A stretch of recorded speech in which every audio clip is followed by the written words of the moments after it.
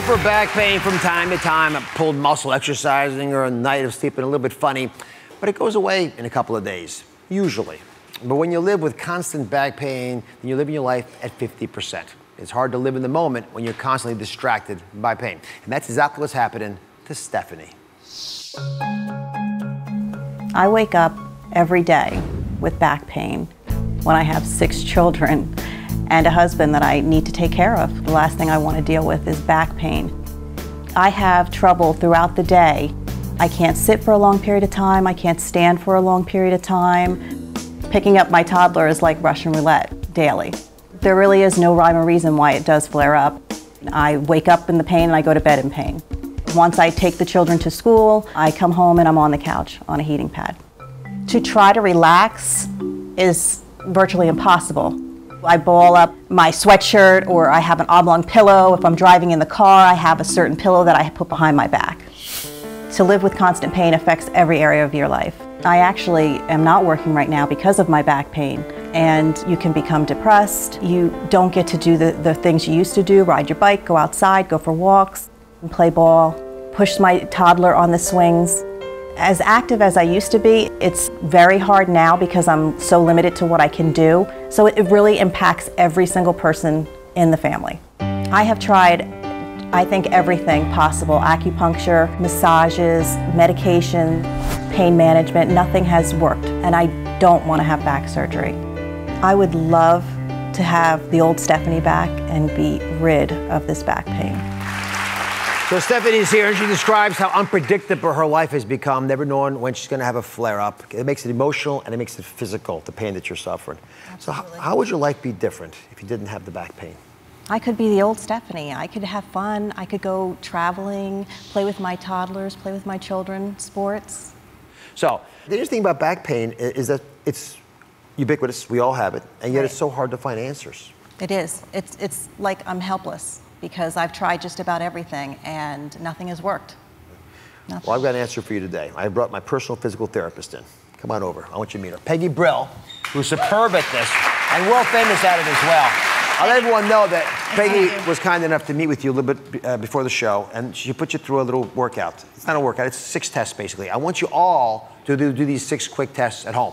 It's simple, easy, and there's no excuse for not doing it. We're going to walk you through these six tests, and then I'm going to have Peggy also explain how she diagnoses people when it's not right. Based on these tests, we'll have treatments, specific treatments that will help you. Okay, walk us through them. All right, so Stephanie, first thing I want you to do uh, is, and everybody at home can do this as well, is I want you to put your hands on your thighs, and I want to see what you can do bending over. Just slide your hands along your thighs and touch your toes if you can.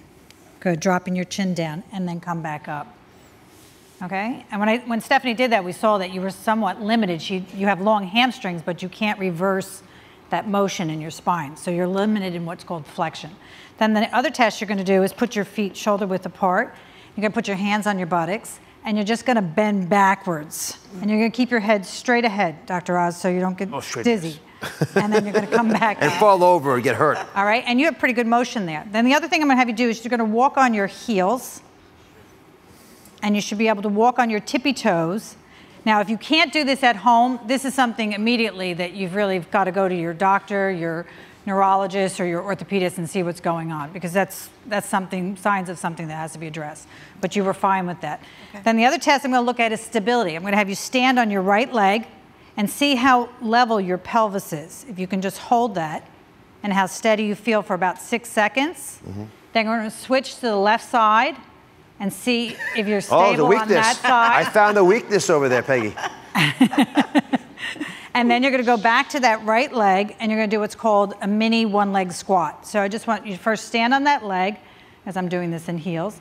And then you're going to just bend and straighten and see how much you're struggling to keep your trunk upright. So there's two things, mobility and stability. If you have either of those or both of those a problem, you're going to have back pain. Right. Let's come on over. Let's go to the truth tube because I've got your results here. And we took pictures of you as you were doing these with Peggy before the show. So Peggy, if you don't mind, walk us through exactly what you found. Here's the first image. Yes, when we saw her stand on one leg and do the squat, she had a lot of trouble keeping her trunk upright, which tells me there's weakness going on in the lower extremity and that that's affected from the back. This is the question for you. There's a treatment for this. It's very straightforward, but you got to do it re religiously. Are you willing to let uh, your back pain be a thing of the past, to, get pa- to make sure that it's not interfering with the life of those wonderful six kids? I would love to. All right, here's the deal. When we come back, the back busters you can do at home to heal your chronic back pain. Stay with us.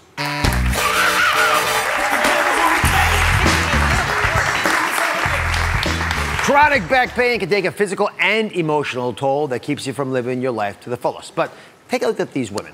Phoebe is a mother of two young kids. Her constant back pain made it hard for her to care for her kids. But just four months after having her baby, she is now back pain free. Or take Jennifer. Jennifer's a nurse. She's helping care, you know, take, of lots of folks, but she suffers back pain herself, and now she's back pain free. Now, both of these women fixed their back pain using an at-home plan by world-renowned physical therapist Peggy Brill, who's with us today. So why is your plan working when so many people have chronic issues like Stephanie? Well, I mean, the truth is you got to make it easy and effective and not take a lot of time. Because as a mother, I have two kids. You don't have a lot of time to exercise. You have six kids. right. It's going to target exactly where your weakness is and where your tightness is.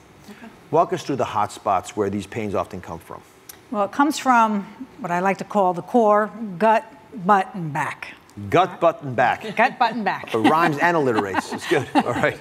So it's a little bit of a, of a practice we can do right now, but you'll be doing it every day after this. Okay. Come on over. We'll use you as an example, Stephanie, but we're going to put a lot of these bits of information on the web so folks can find out their back pain and, and match it up to the treatment. So I put here your back, butt, and gut. So how should we do gonna lie down on your back. Here, you head up here, Stephanie. Now, so Stephanie had limitation, you, you had limitation bending over. So what I wanna do is restore that flexibility into flexion in your back. So you're gonna start off with pulling one knee in towards your chest. And you're just gonna grab that knee and stretch it as much as you can. You don't have to create pain, just hold that. You're gonna hold it just three to six seconds. What about the women at home who are rolling their eyes saying, stretching is not going to help my back? I've tried that. Yeah, well, they might need to do a different stretch. If they're limited going backwards, they got to try that stretch. But for Stephanie, this is what So she needs. people who have back, who can't go back, they have who, to. they have to stretch in the opposite direction, get on their belly and press up this way. Now bring or at work, down, go like this. Oh. or stand up and do that standing everyone in America extension. walking around like this, their, their backs out. That's a whole different problem. Exactly. All right, butt, come on over, roll over. And then you're going to roll over onto your belly, and this is where you start to strengthen the gut and the back. So Stephanie, you're going to put one hand underneath your forehead, and the other arm you're going to reach way out in front of you. You're going to lengthen that, and you're going to take the opposite leg here and lift that straight up in the air, and lift this arm up. This is called cross extension. And you're going to activate those muscles. You don't have to lift that leg so high Okay. because you want to keep this stable, but activate here and here. This is going to start to strengthen your back and add stability to your pelvis. That's why it's called the butt exercise, I guess. Right. It's like and then you hold that here. six seconds, bring that hand in, and you're going to switch to the other side. Okay. It's harder when you do that exact. All right, final roll. Come over to the gut side. You're going to roll over onto your back. And Like- these are great because you could do these on your bed. here, Before you get out of bed in the morning, you could just do these before you get up and start your crazy busy day, okay? so this is going to be the belly blaster. You're going to bring this opposite knee up towards your chest, and you're going to take this opposite hand, and you're going to push against that knee, pulling that rib cage down and in Oh, yeah. into the back. And this is a great way to activate those four abdominals without like straining your neck and flexing through Because your people back. do push-ups and sit-ups and all these exercises. I'm not a big advocate of sit-ups. I You're think not. there's a lot of pressure for the back, the neck, and the pelvic floor. I have a lot of pain in my neck. so Yeah, well, this won't hurt your Right. neck, and you'll strengthen your stomach without compromising your neck. Then you're going to hold the other leg six seconds, holding that leg up, and hold your toes towards your nose, and you press against that, and you can maximize that by the more you pull that leg in, the more you push away. And you don't think it's hard, but that's six seconds. Now that's roll a your way workout. over here to the truth tube. No, come over here. Come on here. All right, let's go. So that, those are the exercises. But the, the second part of this exercise today is revolutionary. And I have been doing this wrong my entire life. I have no idea why I didn't hear this earlier. I always thought that I, when I was sore, after a couple days, I would put heat on that area. Know, a lot of you in that category with me? Right, so if your back's sore and it's been chronically sore for a week or two, you start putting warm heating pads behind you and you know take baths and the like. You're arguing, no, not at all. We have to think cold. Now, I'm much more an advocate of ice, 90% of the time. A lot of times I'll combine it. I'll say, if you get chilled, put the heat on your neck, put the ice on your back. This will help with the spasm like the heat does, but it's uh-huh. also an anti-inflammatory and an analgesic. Okay. I hope this is helpful for you. It, it, I used to have chronic back pain. Peggy really helped me, and I bet she'll help you too. Thank All you. right. This is what we're going to do. All the back busters out there with Peggy Brill are going to be on droz.com, plus all the information from our Truth Tube experts. And if you check it out and get some benefit, let me know about it so we can spread the word. Thank you for watching. Don't forget to subscribe and turn on notifications so you never miss out on new videos to live the good life.